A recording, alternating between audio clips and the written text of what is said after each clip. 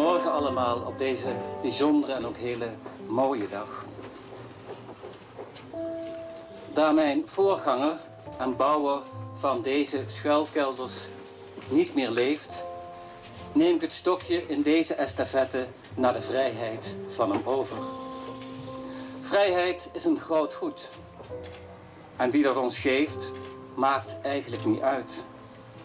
Of dat nu God is, wat ik denk, vooral op deze dag, omdat Hemelvaart en Bevrijdingsdag samenvallen.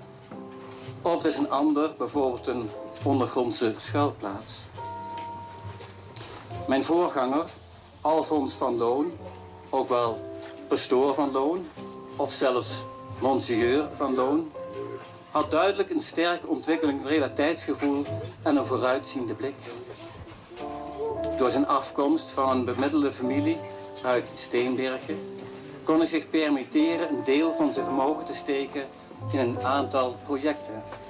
Zoals het verhogen van onze kerktoren, maar ook het uitbreiden van het parochiehuis en zelfs het bouwen van deze schuilkelders. Ongetwijfeld zullen tijdens het roken van een grote bolknak en een gloedglas wijn met de notabele de ontwikkelingen van deze schuilkelders tot stand zijn gekomen. Een snelle bouwvergunning en een vakkundige Oosterhoutse firma Struik zorgden dat deze schuilkelders reeds in 1939 geopend konden worden. CQ klaar voor gebruik waren. Net als zijn gevoel voor andere projecten, zoals voornoemd, die vooral de samenleving dienden, is deze kelder wellicht ook gebouwd om meerdere mensen uit de omgeving in te laten schuilen. Vooral de pas ontdekte tweede schuilkelder en met de aan zekerheid grenzende ontsnappingsgang naar het toenmalige EK-gebouw geeft aan dat de Heer niet alleen voor zichzelf en zijn directe medewerkers heeft gebouwd, maar ook voor de mensen in de omgeving die achter het EK-gebouw, patronaat, via een trap naar de tunnel wellicht gebruik konden maken van deze schuilplaats voor het oorlogsgeweld. Eigenlijk tegen het oorlogsgeweld.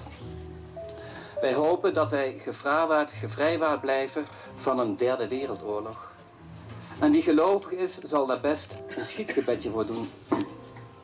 Ondanks deze wens gaan wij toch deze schuilkelder wakker maken door te heropenen en educatief te gaan uitdragen naar een ieder die geïnteresseerd is, maar vooral naar de jeugd toe. Na het prachtige lied van Claudia de Brij, dat nu kinderkoor vertolkt gaat worden, nodig ik graag Piet van Heerbeek en andere oud-militairen hier aanwezig als de zetman van de Pater Kersenmakersgroep in de realiteit van de oorlog heeft gestaan. Ik vraag nu de heer Piet van Heerbeek naar voren te komen voor het doorknippen van het lint. Ja. Geopend.